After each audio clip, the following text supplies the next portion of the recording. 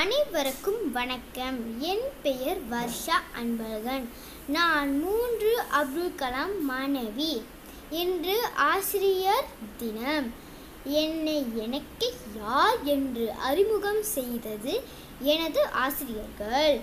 எனது ஒவ்வொரு செயலிலும் நின்று என்னை நல் வல் வழிப்படுத்திய எனது எல்லா ஆசிரியர்களுக்கும் இனிய ஆசிரியர் தின வாழ்த்துக்கள்.